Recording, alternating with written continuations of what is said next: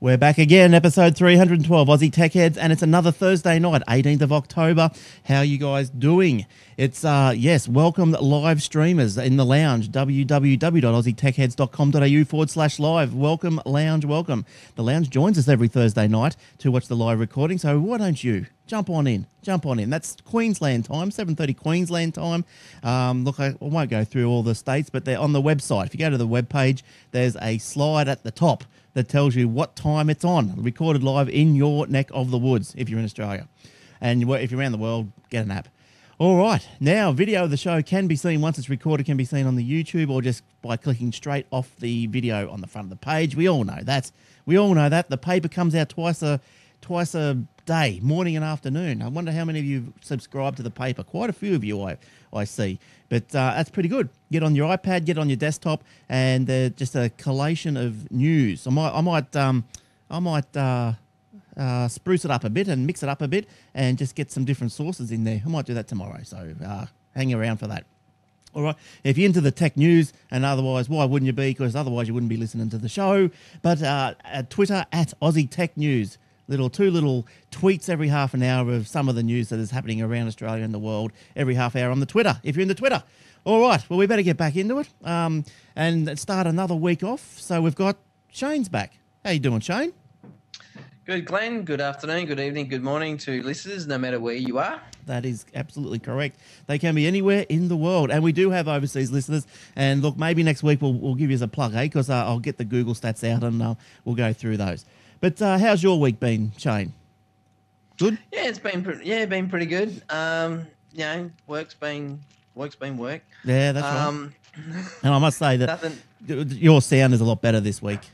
For those, yeah, well, we worked on that as well. Yep. For those of you who listened to last week's episode, uh, yeah, Shane, we were having a bit of a few mic technical audio issues as we do, but uh, it's all fixed up. So good stuff. Shane sounds like he's uh, on top of things and that's good. Now Shane's from Perth, and as you can see, from the video, it's still daylight over there. So um, yes, yeah, it's still daylight over here. It's um, yeah, approaching six o'clock. Yep. Oh, good, good. So uh, thanks for giving up your late afternoon and uh, going into tea time. All right, now and the, the down in Sydney, Erico. How you going, Eric? Oh, he's hey, is he plugged in? Going? Sorry, I couldn't see. Are you plugged in yet or not? You right? Yeah, I'm in. You're in. Uh, yeah, it'll do. It'll do for now. All right, good stuff. How's your week been? Um, next question. Okay. well, it would have. It should have been pretty good with Julia falling flat on her face. Would have, would have been something. Oh, except for that. One of the highlights. one of the highlights for you. All right, now Aussie Tech Heads. Low, low, low, light for her. Yeah. Highlight for me. Eat dirt. Now Aussie Tech brought to you by the hosting arm of the the, the giant conglomerate. if you're looking for web hosting, jump onto uh, aussietechheads.com.au forward slash hosting and uh, you, you, should see some nice little plans. And this week, uh, just come online, uh, all sort of pretty much automated online, is SSL certificates. So if you get a domain, you want to secure it up, you know, you want to put some e-commerce on it or whatever, take customer details, and you think, oh, my customers need secure sockets and, and all this, otherwise they're scared of people go blah, blah, blah, blah. Well, you can get the SSL certificates right off right off the Aussie Tech Heads hosting webpage now, and they're going cheap. Get one while, you, while they last. Uh, now, well, I was going to say, I forgot to mention where you get that Aussie Tech Head paper. It's uh, aussietechheads.com.au forward slash paper. Easy one. Easy one. All right. Now, we, we better kick off. Will is, uh, he may be joining us uh, later. He's still at work and he sent me in a story. So we'll, uh, we'll, we'll deal with that story if he doesn't come on in person. But we've got a lot to get through tonight. We've all got stories. We've got a couple of uh, li- uh, little videos to go with some stories for those who are watching on the on the video, and we've also got a Garth. Garth is back with some sort of app review we've tonight. Got a Garth. We, have got, a, Garth. got a Garth. He's just sitting in the corner. I just patted him before we came on here, so he's uh, he's waiting patiently. so let's get cracking. Where are we going to start? Um, I don't know. Well, I suppose there's Microsoft news, a little bit of Apple news. What else has there been? Uh, let's, let's, go to the Microsoft. Let's give Microsoft the top of the news the news cycle this week, okay? All right. So uh, what are we going to? Well, I suppose let me let me just scroll down to Surface. Microsoft. I don't know. Like Eric was saying before the show, he's not going to get a Surface. I was just about to tell him why he is going to get a Surface. I reckon. And I said, I'll bet you a Surface I don't get one.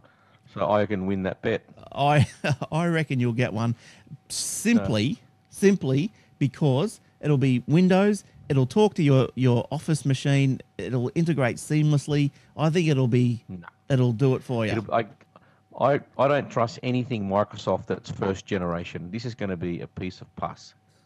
well, yeah, you could be The right. next one that comes out, probably a lot better. This will be blue screen. Anything you'll see on this tablet is a blue screen. I think they're gone past blue. Screen. I haven't seen a blue screen for ages.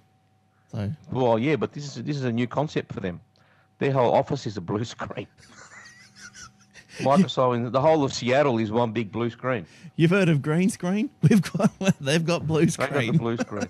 And look, in all honesty, they're really not doing themselves any favors by pricing it the way they've done it here. Have you seen the prices on these things? So yeah, it- Australian prices? Yes, it looks Wow. like looks like it's a bit expensive.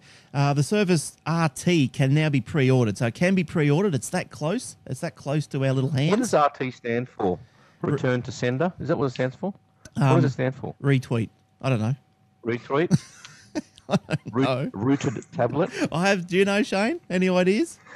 I have no idea. No. Um. I mean, Lounge? Anyone in the lounge? Just Google what's RT stand for. I mean, it, it's the one that runs on the ARM architecture, but whether that's Yeah, I know, but it's just a weird, you know, like Mm. reverse technology. Look, I have. Um, I ha- I know I've read it. I know I've read it. I can't remember what it is. But anyway, the Surface RT will initially be available for five hundred and fifty nine dollars for a thirty two gig model. It will also be uh, bundled, available bundled with a black touch cover accessory for six hundred and seventy nine dollars, and uh, for the sixty four gig model, That's seven. an extra 140 bucks. yeah, but I like how That's they say. ridiculous. I like how they say it can be bundled with the, uh, you know, you get the tablet, the Surface, and then you can bundle it with the with the cover. But the cover's 140 bucks anyway if you bought it separately. Why would you So- want to buy a car for 140 dollars? Well, it's not I not could just, buy a, car. I could buy car seat covers for less than that. but it's it's it's got the keyboard in it as well. Oh, God. that's why you're buying a tablet because you don't want a keyboard. If I want a keyboard, I'll buy a laptop. Yeah, but it folds down, so the cover's the the the thing. I don't I don't know. Yeah, well, it's it's ru- it's RT, all right. There we go. There's one. Now that's not like that's So not the cover. I um I have a potentially stupid question about this. Mm. Do they come in um do they come in 3G or 4G or is it just Wi-Fi? No, just Wi-Fi. This is Uh-huh. what I mean. I don't get the prices. Well, the touch, yeah. So the touch cover, as we said, can be bought separately for 140 bucks. A um, uh, uh, oh, is that just a cover, or is it a type cover? A type cover is also available for It's 150 it's, bucks. It's, it's it's like a keyboard. It's a, it looks like a laptop when you put it in together. Mm, yeah, yeah, yeah. So the black, the black cover is available in red, white, black, and magenta. It's got a couple of colors coming out. The Surface RT will hit the shelves on October 26, coinciding with the launch of Microsoft's next generation operating system, Windows 8. There we go. Eric's got a little screenshot there. What do you got there, Eric? Well, this is the cover with it on there, right? Oh, yeah. But see, that's cool. That's good. That look, don't you think it looks boring? Compare this with an, an Ultrabook or even an Apple thing. Look, it doesn't look pretty. It's a typical grey, boring mm. piece of. And I'll tell you something else that I, I'm a little bit worried about is the weight of them. I think they're they're going to be heavy, especially the bigger one, you, or the full-on Intel, because this is the RT. Right? This is the RT one. This is the smaller one. The Surface comes in two varieties. The Surface, uh, the Surface RT, based on the ARM chipset, and that's uh, sort of you know running Windows 8, but it's not a full-blown version of Windows 8. And then there's the Intel-based, fully-fledged Windows 8 model. So Microsoft is yet to announce pricing on the Intel Surface model. So this is only the this is the the dumbed down model pricing. No, that's So- shocking. So this is going to be end up being laptop prices. You as well buy a laptop.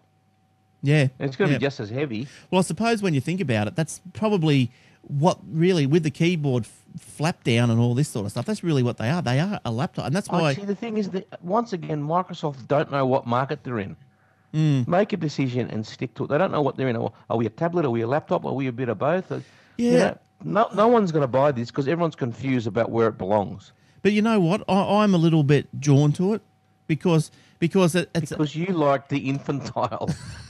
no, I, I like it because it, it because like I've, I've got an aging Windows laptop. Okay, it, it when I Well, bu- that's different. No, no, no. That's fair enough. That's fair enough. You need another laptop, and you think, well, if I can combine the two, good for me, and that's fair enough. But for someone who's got a laptop, what are they going to use this for? what are your thoughts, Shane? Are you um for, against, or indifferent? Are indifferent? you drawn? Um, well, I mean, people had the same argument when the iPad first came out. It's like, well, what is it? Is it a is it a is it a laptop? Is it a something else? Well, and, and yeah, like- but it was. like- it is more of a tablet. Yeah, and and this thing fits the form factor. I mean, it's a tablet, but like you said, I mean, are you gonna? It's a pricey tablet. It's got a keyboard with it, and I mean, I'd rather get like an UltraBook or um, an Asus, one of those Asus Yeah. kind of Android kind of. what are? Ultrabooks are beautiful. Some of these Ultrabooks from HP and Dell are really, really nice. You know what I reckon should happen though, because I mean, none of us have got one. We're just kind of speculating, all that kind of stuff. Someone wanted to sort of give us one as a um as a like a trial version or a re- review unit. I'm Someone happy to. I'm happy to be nice to it. Yes. it won't end up under a truck. No, or a door won't be my doorstop. I promise. Oh, good. Now, so so the RT, the tablet's coming, so you can go and have a look at that in, in stores October 26. Pre-order now. Go and go and go and satisfy your desire. Uh, PC makers have also are on a Windows 8 Blitz. Acer Australia confirmed to the CRN guys. That's the some uh, what's CRN? That's I forget. That's uh, It's- in, it's like industry news tech, heavy yeah, tech. sort of like an industry site. news uh, outlet. It had already started taking pre-orders for Windows 8 machines. This is Acer, while rival PC Dell said it will open pre-orders for its Windows 8 products on October 23rd. So it's getting close, fellows and ladies. HP has confirmed its devices can now be pre-ordered from its resellers nationally. Pre-orders will also be made available through its online store in the coming days. And Microsoft has also announced it was also taking pre-orders for Windows 8 with a promotion price for an upgrade to the full version of the software for 68 Australian dollars for a DVD pack. So if you're got the seven, you want to upgrade to eight, go and get the promotion pack while you while you're there. Otherwise, this this hmm. offer runs out in January, and it will be two hundred US after the promotion. So get in there. Now, from October 26, users can download the uh, Windows 8 for $40 US. That's the price that will expire at the end of January. So either download it or you can buy the pack for six. Well, you just go and Oh, I might as download it. download it, eh? Yeah, go download it. Quicker. You have to wait a week for it to turn up. Yeah, true. Now, um, now look, I've also got uh, the commercial. Now, a couple of weeks ago, or was it last week, or whatever it was? Um, I don't know if. Here it is.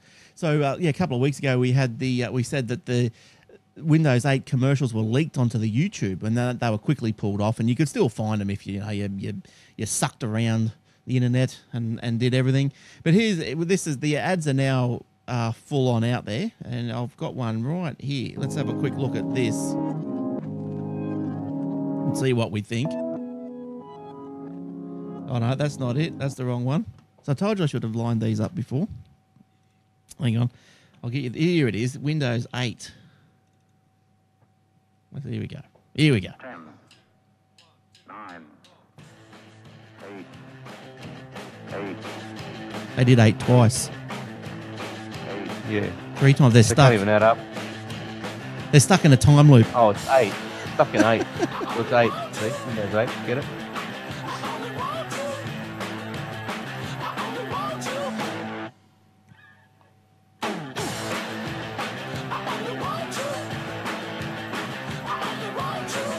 So how do you like that one? So yeah, that was pretty.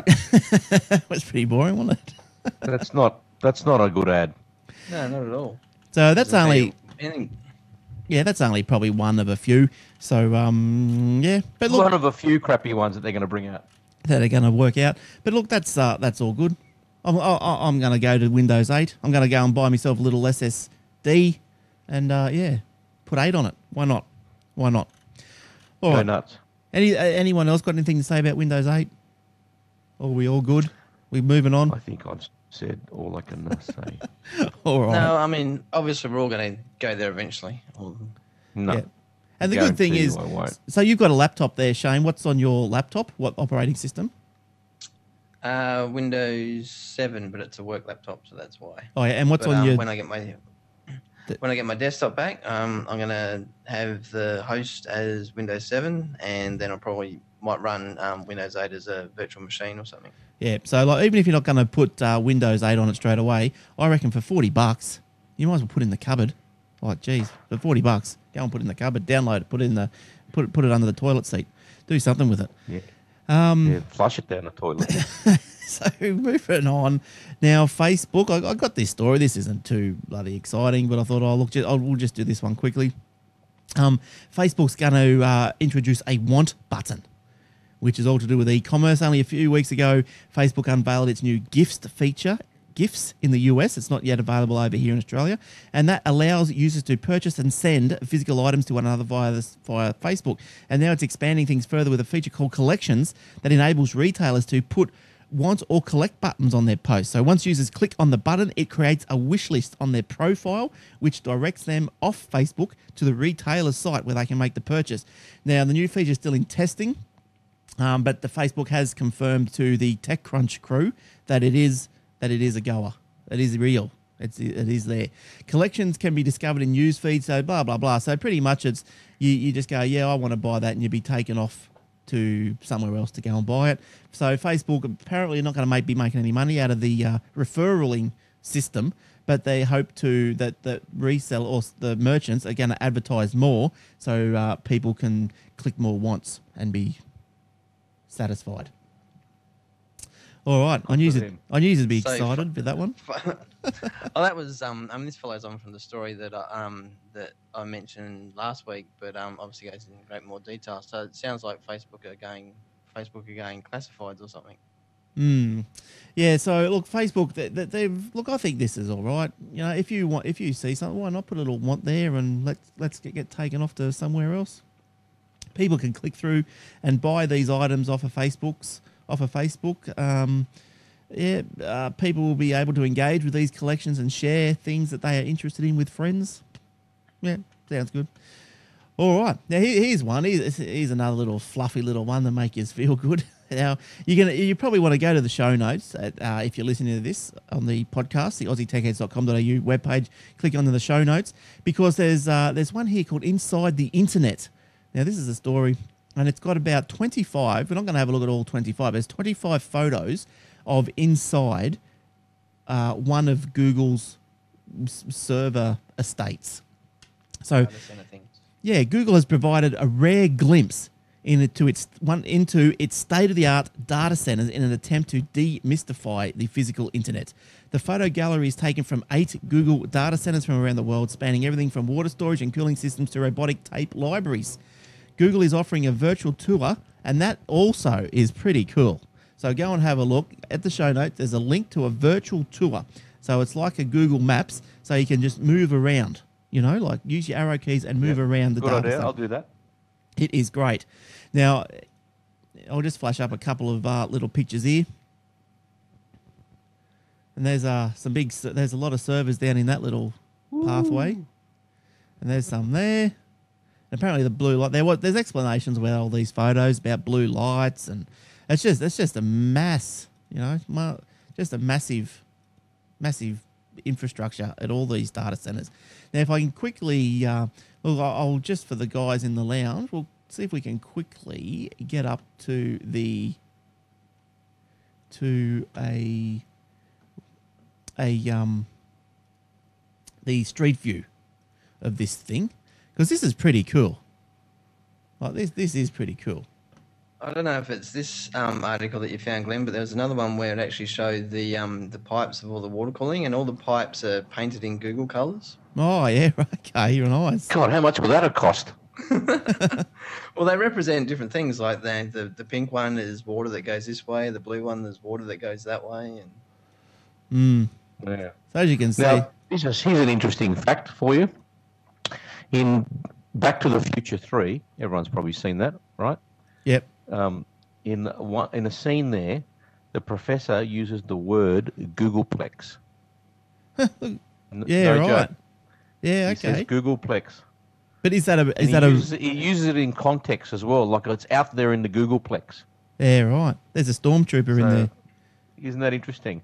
Movie was made in 1982 or 84 or something. But Google, because googol is an actual word, it's a mathematical term.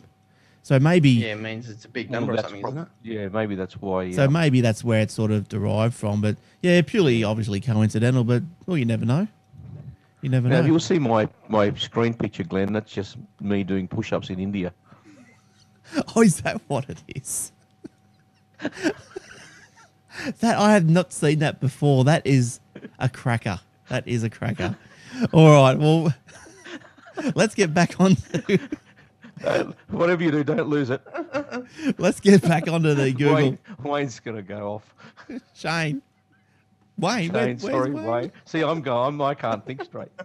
All right. So for those listeners on the podcast, Eric's just flashed up a picture of Julia face first. So we all come to expect that from him, I guess. All right. Did you like the tour? Go and go to the webpage and get that link. for Oh, the, I will do that. Yeah, 'cause In it's all pretty cool. seriousness, I will have a look at the Googleplex. No, because it is pretty good. It is pretty good. Now, um, did anyone else want to bring up anything before we move on to what have you got, Shane? Spin us one of your What yarns. Uh, what have I got? What have I got? What have I got? Uh, I might go something a little bit left field just to start off with. There was I stumbled across a story where a an Australian hacker apparently claims to have hacked um, or or potentially hacked into pacemakers. Oh, yes. Yeah, the story goes on to say um, at a recent security conference, um, a hacker or a researcher called Barnaby Jack, um, probably not his real name, claimed to have um, hacked uh, pacemakers. Basically, what happens is there's a um, there's apparently a video that he's done, but he's not released the video because he doesn't want people to sort of you know copycat and all that kind of stuff. But there's a secret function within pacemakers, and um, he's managed to get that function to then release serial numbers and, and other details that he can then potentially uh, upgrade firmware on the on the pacemaker. And once one is being infected or compromised, any other pacemaker apparently within 30 feet can um, get compromised. So I don't know. I wasn't aware that pacemakers kind of did things Yeah. wirelessly, but apparently they do. Is that and right? um, yeah, Huh. and um, the things that can happen potentially is that they can be programmed to send a a, um, a series of shocks that obviously could kill the person up to 830 volts.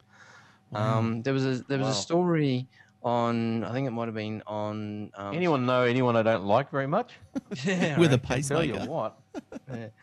There was this, there was another story that's similar to this about six, 12 months ago on Security Now, where they were saying that um, all the top end cars, their um, things like you know the, the tire pressure and all that kind of stuff, that obviously has to transmit back to a central computer on the in the car wirelessly, and that can apparently be hacked and everything because that's not secured or encrypted in any way. Oh, that's that's interesting. Yeah, that's yeah, it's a bit scary, a bit scary. But um, I suppose anything. Surprised that he, I'm surprised I didn't think of that. That's quite bad. Well, I suppose yeah. I don't know much about pacemakers. Like I don't really uh, haven't really studied them. But yeah, why are they like wireless? How can they be wirelessly controlled? Is that how they set them? Is that is that probably just to send a signal back to, like the physician, the doctor? Um, I'm not. I mean, the story doesn't go into great detail of why they're wireless. I mean, the picture on the actual article is an X-ray of you know, the pacemaker in the heart, and the other bit kind of connected via a wire. So again, I'm still not 100 percent sure why they're wireless. But but I mean, I guess at some point, yeah, the doc has to get some sort of readings out of the things to see how the patient is or how the patient has been over a month or whatever. Yeah, I guess so.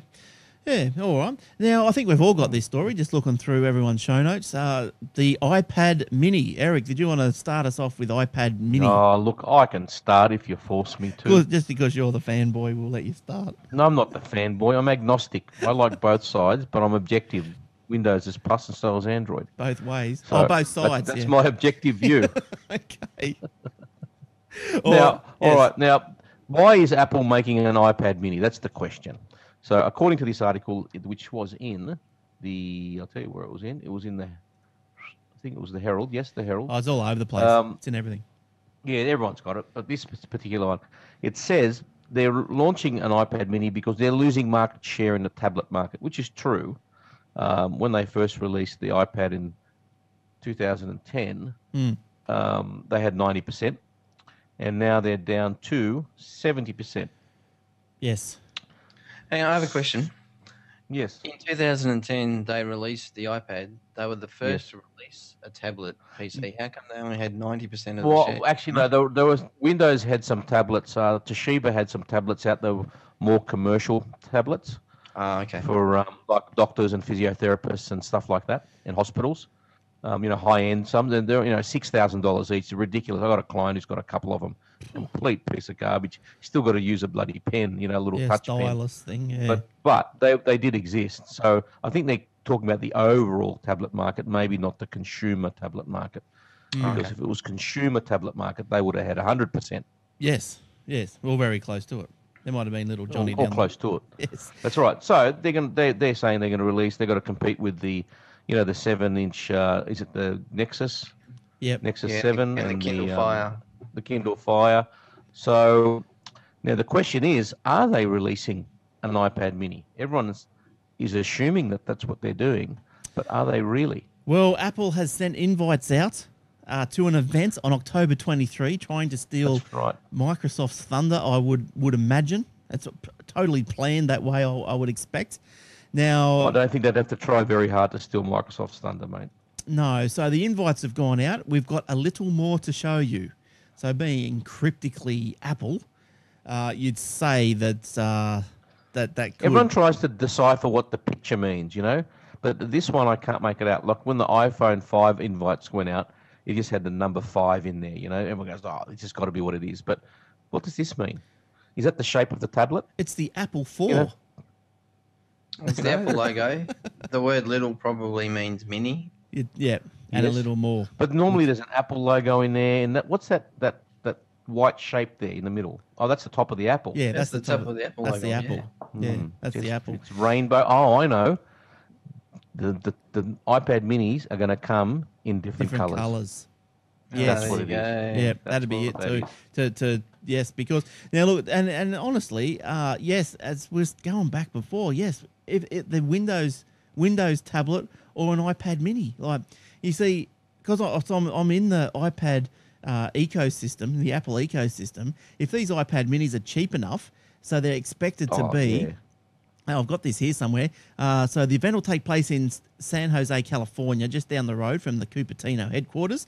Um, the upcoming event, the smaller the smaller tablet is expected to contain a 7.85 inch display compared to the current 9.5 inch display, and be priced between $200 and 300 dollars.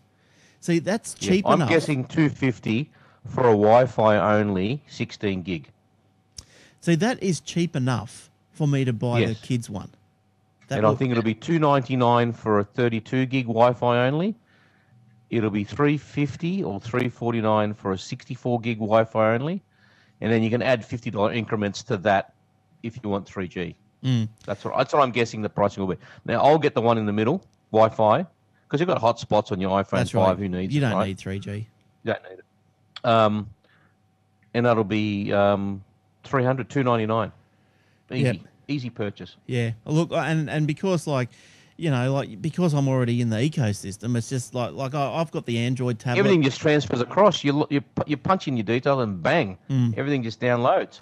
Yeah, look, look, we've- got the Android tablet as well, and the, the little bloke goes crazy, and uh, the little the little girl, she's got my old phone, and you know they're going through the Play Store, they're downloading their games and whatever they want to get, so they're all happy. But I think uh, as far as the Apple, I think it, it's I, I just I don't know, I'd, I'd maybe buy it for the little girl because so she's got a tablet, and there's a lot of there's a lot of educational stuff. I know there's edu- yeah, look, Oh, that's just what I want to do. Heaps. And apparently, um, Without getting into the an week before last, they were um, there was there they, they came out that they were focusing on iBooks. So there's going to be a big push for education and all that sort of. And then there was another site that they discovered on Apple that says the education pricing twenty or more. So they're going to. I think they're going to make a big push to to, Mm. To you push know, 'em. to ki- as, as a kids education thing Yeah, and yeah. it's going to go off. I, Yeah. I reckon this is going to. They will. They're, pres- they they're estimating to sell 10 million tablets up to Christmas, Mm. and they'll, they'll sell them. Haven't they That's all. always done the education thing though? I mean, with the iMac and all that sort of Well, stuff. they went the have, but unis and stuff. uh, as far as the institutions, but I think now they're going to put the emphasis on the textbooks. Yeah, right, right. Because remember last year they came back, they came out with iBook Author, so Mhm. all the textbook companies could start tr- um, transferring all their textbooks. I gave them a year to start transferring all their textbooks. Now, bang, they're all going to be on there.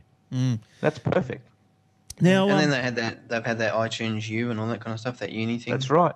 Yeah, it's perfect. mm, it is. It is. I think that that's the go. Uh, now, I, I saw two clients today, and they can't wait for it to come out. Um, husband and a wife. They're not essentially tech people, but they said, "Is it true that it's coming out?" I I said to them, "I reckon it's true." They said, "Well, I'm going to get one, and I'll get my kids one." You There's should- four people right there. You should have said- they're going to get one. you should. Have, You want to know if they're coming out? Watch the show. Watch the show. Watch the well, they do watch the show. These guys do watch the show. Oh, good on them. Hello, hello to you people. Okay. Yeah, hello to people. Now, uh, Eric, Google resists two thirds of Aussie takedown requests. Yeah, don't you like this?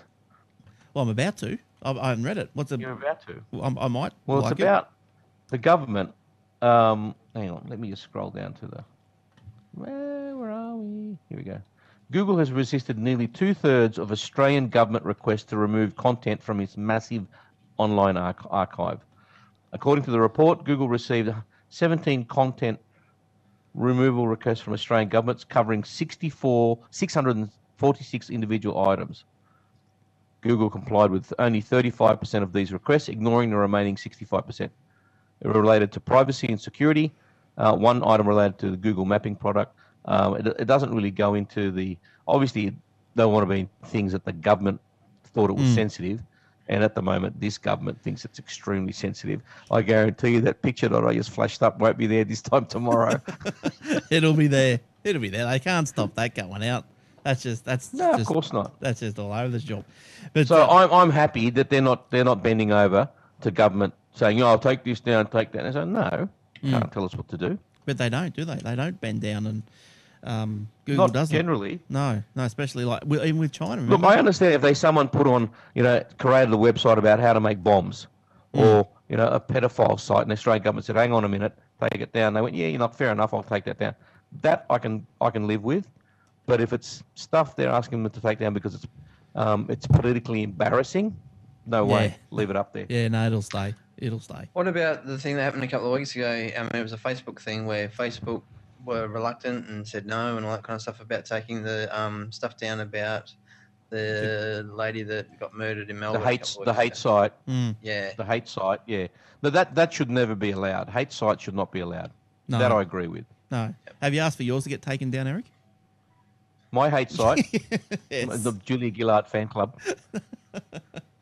All right. Uh, now, to, I'll tell you who else is pretty angry by the look of it. Uh, one that a story that uh, Shane's brought out. Steve Wozniak calls Apple arrogant. What's that one, uh, Steve O? yeah. Shano. I mean, He's he's one for speaking his mind, and um, now he's he's had bashes at, at at Apple before in the past. This Yeah. particular one is where he was um, in South Africa and doing a um, I mean the the audio it's basically an audio interview goes for about half an hour. He um, covers a whole bunch of things in a 30 minute interview with a South African tech journalist. Steve stated the um, Apple was arrogant in relation to the dimensions of the iPhone 5, basically saying that um, just because you know one particular person or they think that you can use your thumb to reach from one side to the other, then that's you know that's the size of the phone should be, and they shouldn't have any sort of variety in phones. Um, he basically implied that they should have brought out sort of different variations of the phone, like uh, you know, like it is in the Android market. Yeah. Um, so that was the, that was the, the main headline, the fact that he um, Yeah, but Wozniak's always been like that. Even when he was at Apple, he was always like that. He was always very different to Steve Jobs in that he wanted a very open system, he likes things and he- wide. Steve Jobs didn't. He liked Mm. to tinker. They had very different mindsets. So I can understand him saying that because that's what he wants. In which Yeah. case, well, I say to Steve, he's a good bloke. Um, get an Android, mate. Don't worry about it. Yeah, uh, he'll, he'll probably. probably has. He, pro- he probably does have in the, eh, you know. Oh, he's got one of everything. yeah, he would have. He, he wants to keep abreast of everything. Yeah. Oh, Shane, you wouldn't know this, but last year, this year, it was in May this year, I was out in the city um, for Mother's Day. I was staying overnight in, in town with my wife, and we're um, going back up into the uh, into the room after dinner, and uh, Steve Wozniak in the lift with us, mate. Oh, really? Yeah, same hotel, staying in the same Wow. hotel. And Well, I was, um, I didn't, know, I, I was dumbstruck. didn't know what to say to him. And my wife said, "Ask him for his fucking autograph." Yeah, yeah. Thanks for that one. well, he, he's been to Australia uh, quite often, and in the interview Yeah, and he's in always other here. places, he goes on Yeah, he's always that he, around. he's, um, he wants to move here because of our um, Yeah, 'cause broadband and all NBN. that. Yeah. So, well, I, NBN. my advice to him is, don't rush out, mate. It's going to be a while.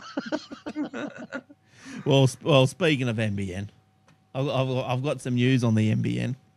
yes, Yeah. I know you do. Now wait till I find, on. wait till I find me me mouse. It, it gets lost in the screens. Um. All right. New suburbs prepare for NBN. Are you one of the lucky suburbs that might get it? in the- No.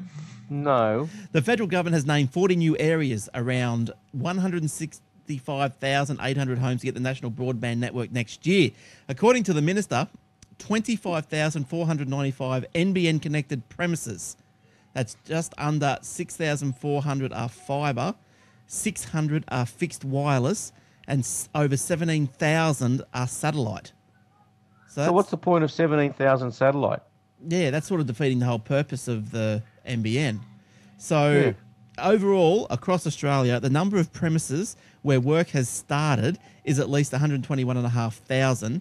NBN estimate it can take an average of 12 months from the time work starts at each NBN site until services are available. Just 3,295 homes have been passed by the NBN since August this year. How many in total subscribers have they got? That's what I want to know. So uh, there was, I think, another. It's not very many. It's pretty poor. I think that article did go into into more. Here we go. Now I've got. I'm reading the New South Wales um, sites here, right? Blacktown, Labor. Coffs Harbour, Labor. Dapto, Labor. Brownsville, I don't know. Koonawarra, I don't know. Kanahooka, I don't know. Gosford, Labor. Um, Homebush, Labor. Mudgee, Liberal. Penrith, Labor.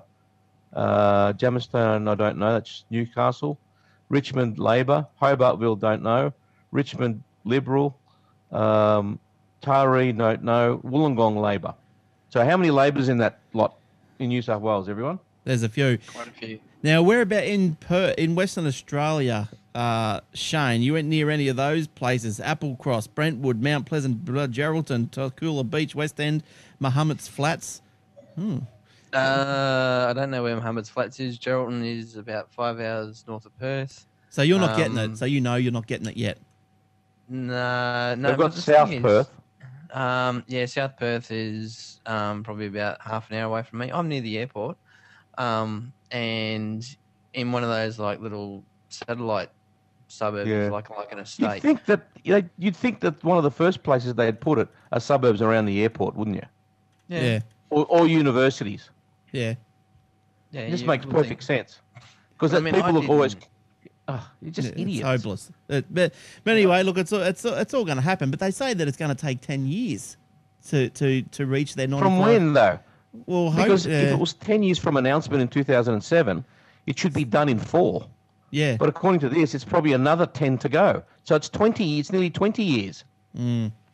who knows? Who knows? It's just hopeless. I'm not holding my breath. I'll just have to, I'll be happy to re- keep restarting my router. I think.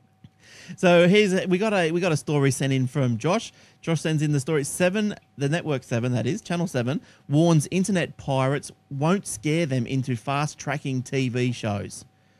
Well, I Good.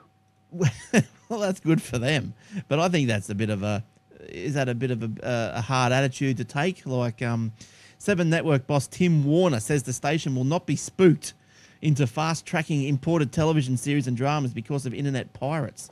Seven has announced a range of new shows and the return of several big ones from 2013 for 2013. Uh, shows like shows that have already started to be screened in the US and haven't even come out over here. Uh, Revenge, Once Yeah. Upon a Time, and, And Downton Abbey. Downtown Abbey. So, but what, I love Downton Abbey. Great show. now what I'll just have to find it somewhere. why I think this is a bit of an arrogant stance is I don't like this stance. I don't think it you, you need to come out and and bandy Yeah, this sort well- of stuff around. I think they're just putting their, their they're just making their, their point. they don't. You know, I suppose they can do what they want. But you know, But if that if that means people aren't going to watch Channel Seven, well, that's just the risk they're going to have to take. Mm, like, and like it's, it's not a, a great amount of probably the audience that they're going to lose, but I, I mean, as, as more and more people sign up to Facebook, which a lot of people are, and now I know countless times I've had my my experience um, uh, negated upon of watching TV shows because you find out what happens. You find you you someone will will spoil Spoiler it, alert, yeah. will spoil it on Facebook before you get a chance to watch it, and then you go, well, what is the point? You know, so I, I think that that that's an arrogant Well, it attitude. comes down to money. That's why they don't bring it out. See, if they bought these, these shows are always more expensive to screen here if you buy them when they're fresh off the reel. In other words, they're showing in the US and they and they show here at the same time. Right. If they delay showing it here, it means they pay less for them. well, I That's thought why they do it. okay, I thought it was to try and uh, match up with ratings periods. You know, like our rating Well, there's that too. They've got to balance that in there as well. Mm. Ratings period, because the ratings periods in America, like the school holidays in America is is spring Mm. compared to here. You know, they go on holidays pretty much all through summer. I don't know why they call it spring break because they're off all through summer, but that's um, June, July, August. Now here, that's winter. That's right in the middle of our of our ratings period. So, you know, there is a bit of balancing there to do. But some there are m- months during the year that there is a crossover. That there are, I think, two ratings periods throughout the year that we match theirs. Right. But they won't bring it out because it costs more. You know, and, and it, it, it's quite a bit of money to bring out. You know, Downton Abbey might cost you for a season. It might cost you three million dollars yeah, if you brought it out straight away. Yeah. But it might cost you one million dollars if you waited a month or two. Mm. I suppose when you weigh it up like that, you'd probably go, well, yes, okay, well, we realise some people are going to, what you know, do it from the internet, and you know, vice versa, and you weigh that up. And I suppose in But that they they in that situation, that'd probably be they a fair pre-sell risk. they pre they pre-sell the ads for all of these before they buy them. Mm. They go out there, their buyers go over there, they have their screenings and watch everything. They make notes on what they want to bring out. They come home, they ring up all their advertisers, and they pre-sell a lot of these the advertising on all these shows. They go right, we're going to bring this out. We think it's about on this time, this ratings period, and it's going to cost you this much per thirty seconds.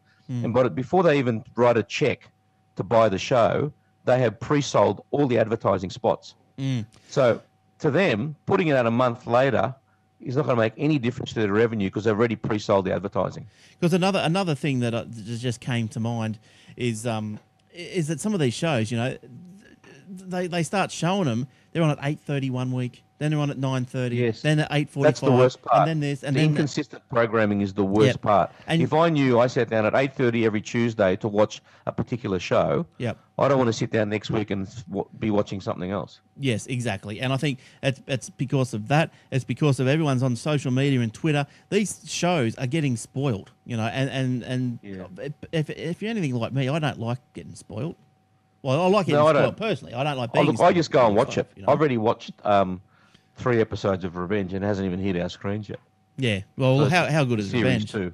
And how and, and the reason why I, I just brought this story up is because I, I had something spoiled for me, and that was Dexter, the the big cliffhanger of the, Right. the big series, Right, you know, right. of se- series six, I think it was. Then on, on Facebook, oh, bleh, spoiled. I went, Yeah, well, thanks very much. Yeah. Thanks, yeah, great, That's right. great. Well, I'm watching uh, Two and a Half Men and Big Bang Theory. I'm up, and I've I've watched I think five episodes of Big Bang Theory, and I think they're only up to uh, episode three or three, something. here or something. Yeah. Mm. Yeah. I noticed that. well, anyway, So, so, I've already seen all these all these shows, so I don't really care what Channel Seven does, no, no, and I, I can watch them without ads. So there. Yeah, so yeah, that's right. Um, now, but they're sticking onto this same theme of TV shows, BBC Worldwide have announced first UK ultraviolet enabled DVD titles. Have you guys heard of ultraviolet enabled DVDs? I would think not. please, 'cause ex- please explain. Is The- that where the DVD, uh, like the lasers, a different color or something? N- I don't think so. No. Okay, It's the so the four the four UV enabled titles. Doctor Who series one part seven, John Bishop's new stand up, The Roller Coaster, and Top Gear, oh, and Attenborough, sixty years in the wild, um, will be released from late, late October. Both the DVD and Blu-ray for each title will be UV enabled. Now, ultraviolet technology will give purchasers of BBC Worldwide's physical DVDs the additional right to a free digital copy of the program or show, which can be easily redeemed and subsequently seamlessly accessed by an ever increasing array of devices, including computers, tablets, and smartphones. Streaming and downloading access are supported to enable both online and offline viewing. Good idea. Good idea. Mm. So, um, well, you know, it had, it had to come to that because why do people want to buy physical media and then go and have to buy the buy it again just so they can watch it on their device? Well, if you go to JB Hi-Fi, some of their DVDs that you buy or Blu-rays um, have a like a free digital copy downloaded attached to it as well. Well, maybe this is that? what this is. Maybe this is what the ultraviolet is. Maybe maybe the BBC have never done it before. Maybe they're just getting into this this technology. But I've not. I'd never never heard of that sort of stuff. But um, Yeah, I don't know. I don't know. yeah. All right. So, well, as I said at the start of the show, Garth is back. We're going to hear from Garth if I if I can get this thing working, and I'm going to try really hard. Oh? Hey, everyone, it's, uh, Glenn. Stop! Stop! Stop! Stop! okay. Now it opened in a really big window, so just capture. Just bear with me for a second, and we're going to hear Garth. He's going to come back with an iOS app, as he normally does. He's got he's got a whole bag load of iOS apps that he likes, and he likes to share his likes to share what happens with them. So let's go back to the start there, and let's hear from a Garthy Boy. Hey everyone, it's uh, Glenn and Garth here with you again. Uh, Garth, bit, bit flexible this week. What do you got? Hey Glenn, how you Oh, I love don't I? Yeah, what do you, what do you, what do you got? I've got an app called Fleksy. Yo, Um, now it's a little bit of a different app, and it's not going to be for everybody. It's actually an app that's, as um, most of your listeners know, I'm blind, so it's an app designed for blind people, um, but it can also be used by by anyone who wants to be able to type a bit quicker on their phone. Right. So, just to give you a bit of history, for a blind person typing on the iPhone, what you would normally do, put your finger on the screen, move it around until you found the letter, and the, the computer, you know, the voiceover would say the letter. So you, as I rang my finger across the screen, it'd say T, R, you know, be, say I ran it across the top, it'd be W, E, R, T, Y. As soon as I found the letter I want, pull my finger off the screen, and that letter's entered. Right. Then put my finger on the screen again, find the next letter, pull my finger off. Right. So quite a slow, laborious process compared to a sighted person just tap, tap, tap, tap, tap, tap, tap. Yeah. Yeah. Yeah. What Fleksy does is allow someone who's blind or not looking, or someone who's not looking at the screen, to type almost as quickly as that. Right. The way it works is with um, pattern recognition. So if you've got a good idea of how the layout of your keyboard is, like a, you know how to touch type, I guess, or you know where all the keys are on the keyboard, without looking at the screen, it changes the keyboard. It has its own sort of built-in keyboard. Yep. Um, it makes all of the letters a little bit bigger, gets rid of the space bar, um, so it uses more space there, a few things like that. And then all you need to do is just tap, tap, tap away in the general locations of where you think the letters are. Right. So, you know, you might tap near the top middle for the T, then a bit below for the H, then across to the left a bit for the E. Oh, okay. Okay, so you just tap in the general vicinity. You don't worry about trying to hit the exact key. Yep. And then when you've got for the, for example, Yep. you do a swipe from left to right across the screen. That enters that word. It'll look through. It'll from the pattern you've typed. Even if you haven't hit any of the letters correctly, it'll say the. Yeah. Nice. So If- that'll speak you the word. It'll just say the word the. Not. Okay. Yeah. yeah. nice. So it won't say each of the letters as you go like normal.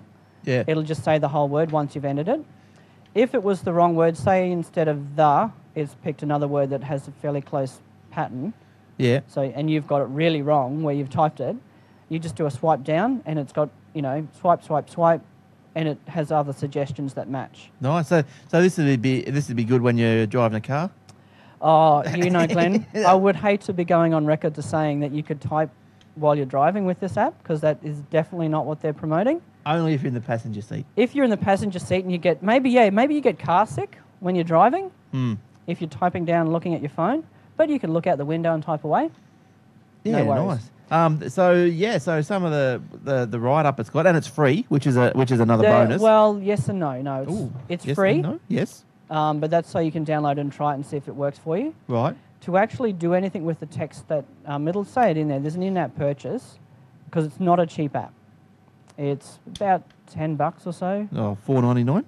Oh, it's on sale right now. Go get it, guys. Go get it. That's right. Top app in-app purchase four ninety nine. Yeah. So once you buy the in-app purchase, you can then use that text. You know, push it to Twitter, push it to Facebook, copy it onto the clipboard, so you can paste it. Say you want to write a long email, um, you pull open the app, copy it on the clipboard, and paste it into your mail.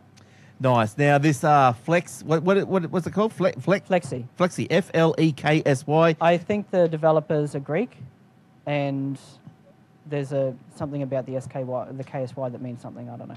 Now this is a uh, well, whoever that a, a game changer, David Woodbridge, Apple ad- ambassador, uh, but it, it has been the app of the month RNIB in August 2012, and app of the month AppleVis August 2012. So it's uh, it's hot, hot, hot. Yeah. So uh, go and get a look at that if you uh, think that it can benefit your life. Download and have a go with the free one anyway. Even if you are sighted and you really don't have a need for the app, Hmm. just have a look. Have a look. It's interesting, maybe. Hmm. Just the, the way the pattern recognition works is just amazing. Hmm. It's excellent. Yeah. Better than Swype, they say. Well, we'll see. All right. we'll see you next week or Bye-bye. next time. Bye bye. All right. Thanks, Garth. That was good. That was good. So that's one there for the people who have trouble uh, typing while they're driving. So get that one. Which you shouldn't be doing, by the way. no, it's very naughty. You should not be typing while you're driving. If you get car sick while you're typing while you're driving, that's the least of your problems. Yeah. Yeah. Kim can't. We all thought the same thing, though. Yeah. Kim can't uh, read while she's in the car driving. She gets It's sick. impossible. No, like as, even in the passenger seat. Oh, me neither. I can't. I get sick. Yeah. Yeah. Oh no, because I'll say, Can't do I'll, it. I'll say to, oh, SMS someone for me. Gee, oh, no. Well, what are you talking No. about? Just SMS. You're not even driving. Just do it. I'll make it do it. Well, I'll- she just she just doesn't like you. no, I'll make it till she vomits. Now throw up and send this message. That's right. All right. Uh, have you got another story, Eric? Oh, let me have a look. You have a we? look there because I'm just going to load up me next one. What what else have I got going here for everyone to have We've a done look the? Microsoft bit. Uh, okay, Google found to be Australia's second most attractive employer brand. Oh, yeah. LinkedIn has ranked Google as Australia's second most in-demand employer with the release of its new Talent Brand Index. The world's Right. largest professional network with more than 175 million members ranked Google second in Australia behind mining and resource giant Rio Tinto. Well, that's interesting. Hmm. With construction group Leighton Contractors the third. Ah, it's interesting too. Who would have? Very, who yes. Who would have thunk it? Who would have thought? The in-demand yeah. employer rankings were powered by the Talent Brand Index, a new free service for uh, LinkedIn's talent solutions customers that allows them to measure and benchmark the strength of their employer and offers new insights on how they can improve their ability to attract top talent. Oh, good stuff. So Google's always been pretty good to work for, as far as you're led to believe. I think that yeah, look, if you can go to work in your undies and straight from bed, Yeah. right? And then turn up and go and play a bit of pool before Hmm. you even unpack your laptop bag, and then you know go and sit in the toilet for an hour before you do any work, and then have a feed because it's lunchtime. Yeah. That's then- all right. Well, you just, Why wouldn't you want to work there? just go and uh, have a look through the street view of the Google complex, and you'll see some of the rooms. I saw the room with a little foosball, whatever you call it, the TV. Oh, look, I'm and, a little uh, bit weird when it comes to that. I like offices to be. Look, I'm sure they're productive, and I'm sure they don't abuse it because they're all, you know, heavily um, monitored in as far as their performance. And they're all given, you know, projects. Hmm. And so, for example, the guys say, "You've got to develop this in this time frame." I don't care when you do it. I don't care how you do it. I don't care if you dick around for the next three months. Just yeah, you better have it done by month four. yeah, yeah. So they're pretty strict. So they're, they're very flexible in how you use your time, but they're I think they're very strict on um, outcomes. Mm.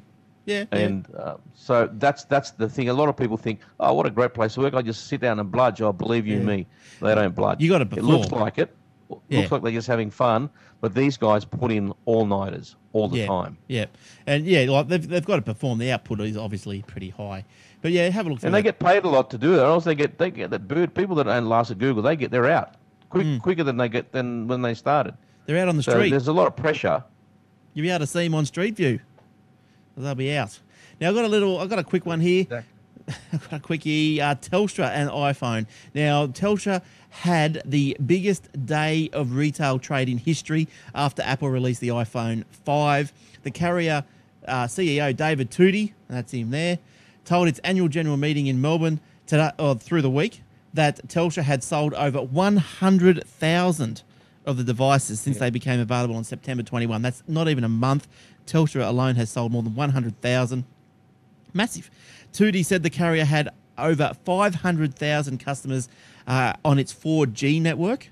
So that's fair. That's probably s- was, was that what sort Pretty of number good. is that? Is that small, big, fair? Uh, that's reasonable. yeah, yeah. So, Glenn, just Yes. to preempt all the comments that we're going to get, the Yes. guy's name's David Thodey. Oh, okay. What, Toady. what did I say? Toady. No, you said Tootie. Tootie. As in Tutti Oh, Toodaloo. what a beauty. Toodaloo. Tootie fruity, what a beauty. All right, Toady. No, what is it? Thodey. Thodey. Bodie. Thodey. Yes. Oh, don't worry. Yeah. You'll get used to me mispronouncing names. the carrier sold 193,000 of its T-Box digital set-top boxes and close to 150,000 of its T-Hub home phones. Oh, who the hell would buy a T-Hub in uh, in the past financial year? So, uh, good- No, 150,000 people, obviously. Look, Yeah. I don't want them to get any more than half a million on their 4G network. no, that's enough. I'm quite happy the way it is. Close it off. We're full. Be like a doctor. We're full. No That's more. That's right, full. Appoint, appointment only. That's right. That's right. Uh, no, no more. Uh, now, oh, here, here's a quick one. Has anyone else got any quick ones or any more? Uh, Shane, what are you up to? What What do you got over there? Text messages. Uh, yeah, yeah, that's what I was looking at. So around, I found an article, um, probably on the back of the the um, is it Peter Slipper, the the ex speaker, the guy that um That's him. got into trouble. Yep. Um, it was a story Allegedly. kind of yeah, the story kind of on the back of that where um, it just highlighted the fact that yes, your text messages, your emails, your Facebook posts, and everything are available for anything up to years. Some ISPs, the article points out that some ISPs actually hang on to them, have hung on to them from day one, so that could be like you know five years or however long you've been with your ISP. Um, I know that um, with Message Bank voice messages, they're available if you save them um, on, the- on the Telstra network anyway. They're available for, for days, I think it is, up, and then they eventually kind of fall off, but they're retrievable again. They're only just kind of Hmm. they're not available through the phone, but if you know if they're asked by the authorities, they can retrieve them. But they say, um, Um, they say like further down in that story, it's saying, it's saying that at, at the bottom line, um, uh, that uh, it's an ISP policy. It's ISP policy for how long they decide to keep Yeah, them. how long? Yeah, it's up to them. Six months, two months, one year. But but the ISPs aren't into law enforcement, so what the hell do they care? Why are they keeping them at all? Like, Uh, well, there could be. Oh, look, I don't know. They have their reasons, but you know. mm, yeah, In case Well, they're well, suspended, I look, but the thing is, they're trying to take that, that choice away from them. The government's saying, well, you have to keep everything now for as long as we tell you to keep it, which I think is absolutely wrong. I actually uh, really liked what you brought up last week about what Malcolm Turnbull said, and that was if you if you write a note and you don't want anyone else to see it, you rip it up and throw it away. That's right. Why or a can't you- photo album or a, a diary. You know, everyone makes notes in their diary. Yeah. And some people, some people have online diaries. Yeah, You know, just private thoughts about their daily life, whether it be dramatic or otherwise, and they Mm. might think, you know what, that was um, therapeutic for me to do that. Um, I want to delete that off the cloud now, and you delete it, but someone's still got a copy of it. Well, that's not right. you should be able to delete You should that. be able to delete it forever. Yes, you should be able to. I don't know what how you how how you're ever going to come to a uh, solution, but um, there probably will be one. There'll be one. But you soon. haven't, with that analogy, you haven't written it on your own notepad. You've written it on someone else's notepad. True. Well, well, no, you've saved it on someone else's notepad. You've written it on yours, but you've saved it somewhere else. It's like putting the notepad in the bank vault. It's their vault. You're paying ten dollars a month to have a private box, and you can put anything you want in there. And the bank doesn't know what's in there. He gives you a key every time you visit, and says, "Put you in a private room." And says, "Righto, you can put in in there or take out from there whatever you want." I don't know what's in there. I don't know what you're taking out. Maybe we should all have encryption keys uh, that that you know that securely scramble all these online. That's the only way to do it. Hmm. That's how you get true privacy. But how, but even if you if you transmit your your your scrambled message to say like Evernote, it's still going to be stored up there as text, readable text. That's Unless only- they've got an encryption. Mm, That's option. only in the transit at, at this point in time. It's just in transit that it's scrambled. But anyway, Yeah, but that's right. Well, well, for example, Carbonite, the backup solution, that is encrypted on the way up, and it's encrypted on their server as well. have you got a key? no one can. Do they give you like a personal key? No, Or- no, it's an automatic encryption. Right. Yeah, don't you create your own key or something by mouse moving the mouse or something like that? Because I've got something similar, and yeah, the the key gets generated by just random movements of the mouse. They sort of say move your mouse around for ten seconds, and all of a sudden that creates your key. Yeah. Okay. Yeah. Yeah. I've seen something like that actually. Now here. So that, that's that's how my view. If I've got a private diary that I I wrote here, I saved it in the bank.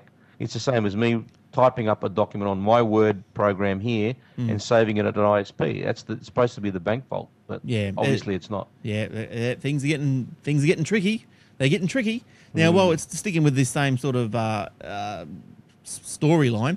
Now, this is the, this is a story from Will that Will sent in, and uh, Will, you know who you are, so hello. And why are you late? Where's your note? I hope he knows who he is. so he's Apple tracks users with iOS 6 ad tracking functionality. So Turn it off. yes, but how do you turn it off? That's the that's the that's the secret. Oh, you want to know, do you? No, Okay. I, I know how. Um, But uh, but what Oh, okay. what this story is about is that the Apple does track your does track you uh, and sends messages, you know, stats and all this sort of stuff back to what you're browsing and all this sort of stuff. So for if advertising you want purposes, them to, you don't have. You can turn that off though. you can, but it's not. It's it's it's, it's what the, what this article is getting at is it is a it's hidden. It's not just in like Yeah, general it is- it settings is. privacy. It's it's not e- it's not easy to find it. Yeah, so by default it's on. If you want to turn it off, you got to go to settings, general, about, and Yep. then about. Are you serious? Is that And then this go straight down to the bottom. Advertising, turn it off, Yep, and diagnostic and usage, don't send. yep.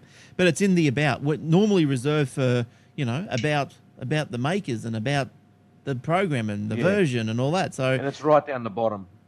so it probably it's is. underneath your, your it's underneath your modem firmware number. Yeah, so it probably is a little bit sneaky there.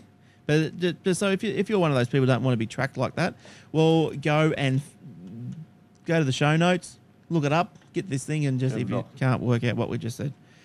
All are right. you are you losing any functionality by doing that? I mean, I remember Not um, people jumping up and down about the location thing being, um, you know, a privacy risk, and then people turned it off, and then they all whinged about their, you know, mapping stuff and their compass not working and all sorts of stuff. I Well, think on the connection ones, notifications, you can you can pick which bits you want Hmm. turned on on the privacy. So I've only got certain apps on. So for example, I've got the Apple Store, the camera, uh, Facebook I've got off, Foursquare I put on. Obviously, you need that. Maps I've got on, um, Safari I've got off, um, why have you got Twitter Facebook I've got off. Yeah. But Why you got So Facebook turn off? That's just the same, like virtually the same as Foursquare if you want to use it that way. Yeah, but when you because Foursquare is a checking in program. Yeah. That's you know, but with Facebook, if you post a comment, it suddenly tells you tells everyone where you posted it from. Mm. I haven't used Foursquare I don't want for to know that. I'm on the bathroom posting. Are you on any of that, uh, Shane?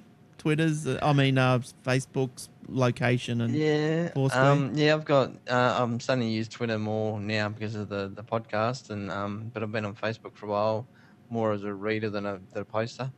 Yeah, Um, but me yeah, I mean, I don't kind of. It, it doesn't bother me that it sort of says because it's not that accurate anyway. It doesn't sort of say. It, it just has a general idea, and it usually, it, in my case anyway, it says that I'm in the location of Swan, which is more the Shire that I'm in rather than the suburb. Right, yeah. Right. Yeah, look, I probably have been a bit lazy. I haven't really checked to see what's on or what's off. I probably am too lazy to do that. Maybe I'll check now that it, now that I've been talking about it. Uh, now, my last story of the night is the iPhone 5 Lightning cable. Now we all know. Now we've all seen this iPhone 5 Lightning cable. We've all got one. We've all, if you've got the iPhone 5, that is. Now, Yep. th- now it's already been. I'm just trying to get a little picture here. I don't, I don't like how these things start by themselves. So hang on. Whoa, whoa, whoa, whoa, whoa, whoa, whoa, get this little picture going here. So now the, the iPhone five cable. It's the smaller connecting cable that uh, that that came that changed the world, and everyone's upset about. Now, let me just play this, and I'll show you. There's um, Chinese company. I'll just mute that. So the Chinese company iPhone 5 Mod has managed to clone the new connector used on the iPhone 5 in less than a month. Apple included an authentication chip in its official lightning cable to avoid copies surfacing, which iPhone 5 Mod was able to replicate. Apple sells its lightning adapter for $35 locally for an adapter with a 0.2 millimeter cord. The cost is 45 bucks. That's yeah, that's expensive, eh? iPhone 5 Mod's cable and dock both sell for Australian $19 individually or for $40 for the pair. Well, that's common sense. But uh, well, I quite like if you're on the video watching that, it's uh, the lead's got little LEDs spinning around it, so it actually looks quite cool, doesn't it? Looks like it's transferring information. Yeah, it looks quite good. I want one, but apparently they're sold out. So, uh, so I'm not sure. Go to the show notes. Go to that story. Probably uh, what that'd probably be an eBay thing, I suppose. I never really went that far into it. Yeah, it's called an iPhone 5 Flash Lightning Dock. Yeah, iPhone five, number five, mod. mod, Yeah. Mod. Ooh, there it is in the dark. Coming to a swap meet near you. Yeah, Yeah, right. All right. So, uh, what else? Uh, uh, Shane, you got any more stories there you want to um, get on with? Before we- Um, before um, we um, bail? um, I only sent through half a dozen this week. Um, I think you might have went through all yours. done the Um, hacker, done the. Oh, they um. There's another one here actually. I will touch on just real quickly. Uh, where did it go? Oh, the new version of um. There's a new version of the Flame virus called Mini Flame. I think it's called, uncovered by Kaspersky Labs, the um, the Russian antivirus uh, software people. Um, the article goes on to say that um, they stumbled, for the want of a better word, across some code that uh, has references or resembles the uh, the flame uh, virus that's that done the rounds, and obviously, and that's a, an offshoot from Stuxnet, Stuxnet, um, and it's all em- embroiled in the the Middle Eastern, Iran, Iraq, America. Um, thing to try and uh, I think it's to attack their sort of infrastructure and then and Iran's nuclear um, capabilities. Um, basically, long story short, the the virus somehow managed to jump across into to the real internet, and and the story goes on to say that it's only that this new variant, at least anyway, has only apparently infected about 50 or 60 PCs. But good. um, yeah, it's just interesting to know that Oh, there's know, it, yeah, there's there. new viruses and stuff happening every day. You've just you got to make sure you've got your antivirus up to date. Um, you know, because a lot of people, it's not just your your antivirus definitions. It's also your like your antivirus engine. If you know what I mean, because so you know you might download your like your little AVG, you know, 2010, and you might be keeping your definitions up to date, but uh, it's it's the actual the engine is not up to date. You need the 2012. You got to actually make sure your your program, your antivirus program's up to date, because it it, it may work differently than uh, what it did three years ago. So you got to make sure you're you're up to date with all that. Scan your machine regularly. Uh, you know, late at night if you leave it on all night or something like that, but scan it regularly, and you should be right. Don't worry. Don't wait till you get one because they're nasty. They're nasty little things.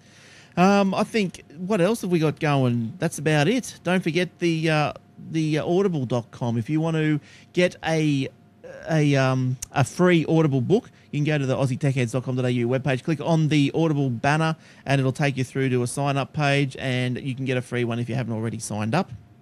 So do that because they're pretty good, and uh, we'll, we'll start reviewing some more of those pretty soon. And uh, also the hosting, aussietechheads.com.au forward slash hosting. It's good to go. Good, good as gold. Now, also through the week, you would have seen on Facebook and the Twitter that uh, we've been ask- I've been asking for your input with the logos and so forth because we're going to get a new logo for the show and we're also uh, getting a new uh, like a landing page for the domain name. So that's all coming soon. The, the votes are in the votes have been counted and decision has been made. Set in stone can't be undone can't be melted away. It's set in stone. So um, yeah stay tuned. I'll let you know when all that's up and ready to go you'll see it when you jump on the webpage All right, that's about all that we've got time for. So to contact us, uh, Eric is at Eric. This is on the Twitter, Eric Franco, Eric with a K. Me is Aussie Tech Heads. Will is Mr. Tompkinson. And Shane, sorry, what is yours? Let me type this in here. What's your Shane 1973. That Shane 1973. There you go. You're in my notes now. Good, good as gold. Never to be coming out. And uh, emails: Glenn, Will, Eric at aussietechheads.com.au, and we'll sort Shane out with one soon, so you can probably start sending him one as well. And that's about it. Anything, anything else, uh, Shane? Anything else from Perth?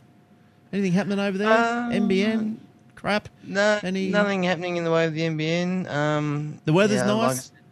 Good weather. The weather's the weather's good. The weather's been um, mid twenties. Um, apparently, it's going to be sort of pushing thirty by the weekend. Yeah, it's going to be hot over Um, here too. So yeah, it's always good weather over here. Yep, yep. Now, for those who were wondering, Shane is on ADSL two. What six down, one up, something like that. Yeah, something like that. Yeah. Yep. Uh, he's got uh, professional microphone system and a mixer. That's how come we're getting his his golden dulcet tones. And this week I know how to actually drive the equipment. so it's all good. It's all good. All right. Thanks, Shane. And uh, Eric, where are you? You're around there somewhere. Where Any- am I? Look, what are you? What are you asking me? Anything else before we go? No, I'm done. I'm good. You're done. Stick a fork in you. Done. You're done. All right That's then. right. All right. Don't forget uh, lounge. Thank you very much. Live uh, aussietechheads.com.au forward slash forward slash live forward slash hosting forward slash paper. Oh, it's forward slash everything's. All right. So until next week, have a nice week. Try and stay cool, and we'll see you then. Bye bye. So yeah. See you guys.